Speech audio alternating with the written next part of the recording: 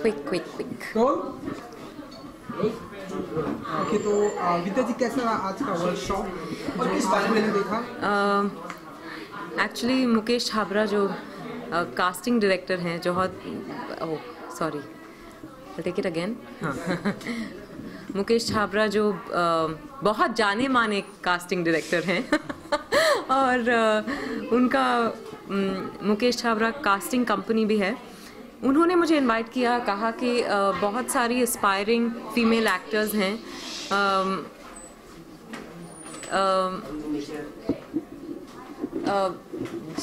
जो आपसे मिलना चाहते हैं और हम उनको बुलाएँगे और एक इंटरैक्टिव सेशन करेंगे। वो आपसे बहुत कुछ जानना चाहते हैं।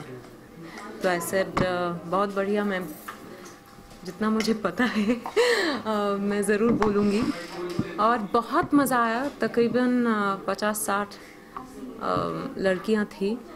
और from 19 to I think 55 they were all um, ages of women. And uh, सवाल किए उन्होंने मैंने कुछ जवाब दिए। कुछ मैंने सवाल किए कुछ उन्होंने जवाब दिए तो बहुत अच्छा सेशन रहा। Basically because I don't think any of us knows what is the right way to go especially as female actors.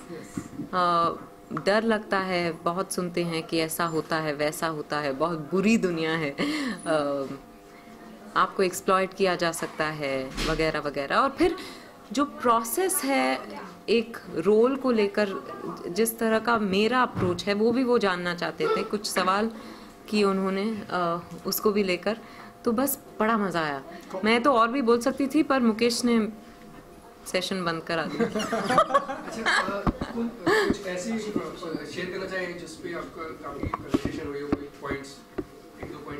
बहुत सारी चीज़ों को लेकर कॉन्वर्जेशन हुई। जैसे मैंने कहा कि मैं बहुत बोली हूँ आज। वैसे भी बहुत बोलती हूँ।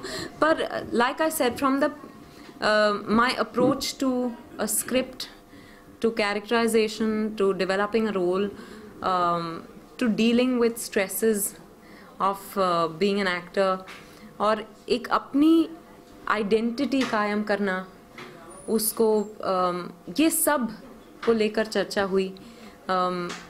इंटीमेट सीन्स को लेकर चर्चा हुई कि कैसे आप अप्रोच करती हैं कैसे क्या झिझक महसूस नहीं होती um, किस तरह के सवाल पूछने चाहिए डायरेक्टर से इस इस तरह के सीन्स से पहले um, या फिर you um, know you know, जब रिजेक्शन फेस होता है तो आ, कैसे हम डील करें?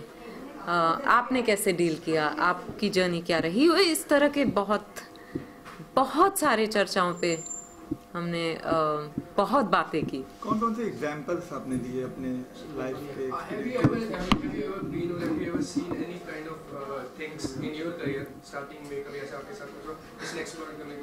नहीं थैंकफुली वही मैंने उनसे कहा कि अ, मैं बहुत खुश नसीब हूँ कि अ, मेरे साथ ऐसे कोई एक्सपीरियंसेस नहीं हुए।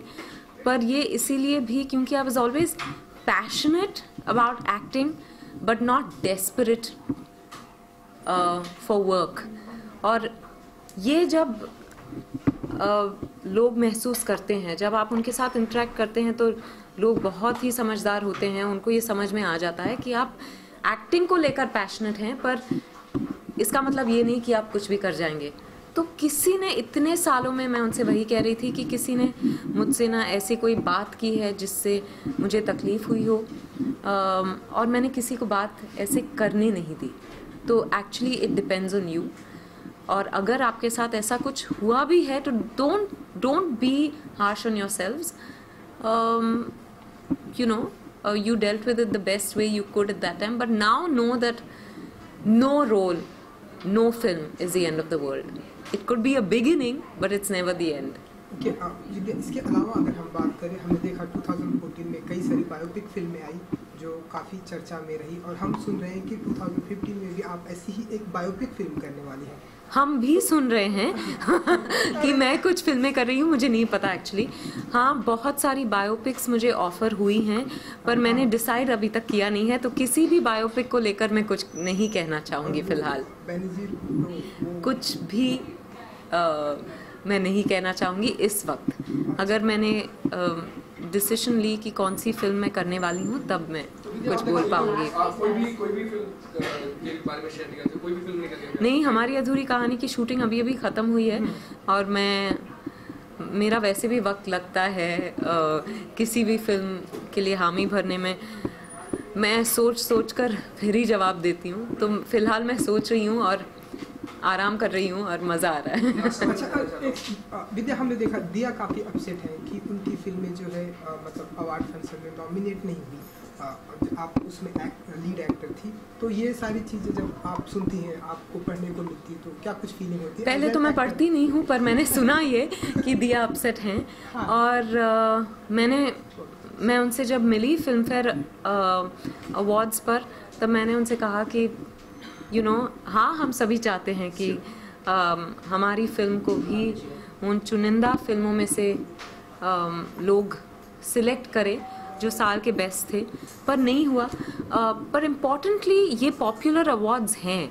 तो जो फ़िल्में अ, अच्छी तरह चलती हैं या फिर जिन फ़िल्मों को बहुत क्रिटिकल अप्रिसिएशन मिला है उन तरह उस तरह की फ़िल्मों को ज़्यादा ज़ोर देते हैं। And it's because it's top of mind तो अब ऑफ़ कोर्स उस उनको मायूसी महसूस हो रही होगी। हम सबने बहुत मेहनत की थी। पर you win some you lose some. Vidya Valentine Day भी आ रहा है तो क्या कुछ प्लान होते हैं विद्या के और रिजोल्यूशन कुछ हाँ मेरे के मायने बदल जाते हैं शादी के बाद। नहीं नहीं। वैलेंटाइन एक ही होता है वो पता चल जाता है शादी के बाद और कोई हो नहीं सकता। बट वैलेंटाइन डे एक्चुअली मैं I am not very excited about it नहीं नहीं कुछ नहीं कुछ नहीं कि अम, ऐसा कुछ नहीं होता कि उस दिन ज़्यादा प्यार करेंगे किसी और दिन कम प्यार करेंगे ऐसा कुछ नहीं है। अम, मैं रेजोल्यूशंस बनाती ही नहीं हूँ। एंड उसके अलावा I think love is for every day it's not for one special day किसी न किसी हर किसी की लाइफ में कोई ना कोई एक ऐसा क्रेजी फ़ैन या क्रेजी लवर आता है जो उसको मतलब आपको लगता है कि बहुत यार ये तो बहुत हटकर है मतलब पागल ही है तो बेबी ऐसा कभी आपके साथ कोई मिला आपको? आपसे शादी से पहले? नहीं नहीं शादी के बाद भी क्यों नहीं हो सकता भाई? है एक वो घर पहुँचते रहते हैं बीच में थोड़ी तकलीफ़ हो गई थी तो उनको मना कर दिया अब क्योंकि वो अ, बस बैठे रहते थे घर के बाहर। अ, एक तरह से अच्छा भी लगता है कि किसी को आप इतने पसंद हैं पर थोड़ा सा डर लगने लगा था इसीलिए उनको मना कर दिया आने से। पर love in every form is welcome जी हाँ। कंटेंट मायने रखता है फ़िल्म को भी स्टार वैल्यू आज के जमाने के हिसाब से? कंटेंट इज़ मोस्ट इंपॉर्टेंट फिर स्टार्स नहीं भी हो तो यू नो पिक्चर के चलने के चांसेस हैं।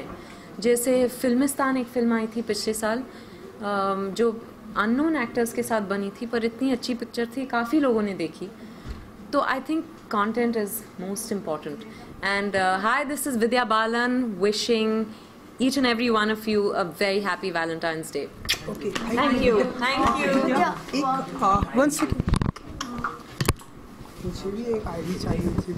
you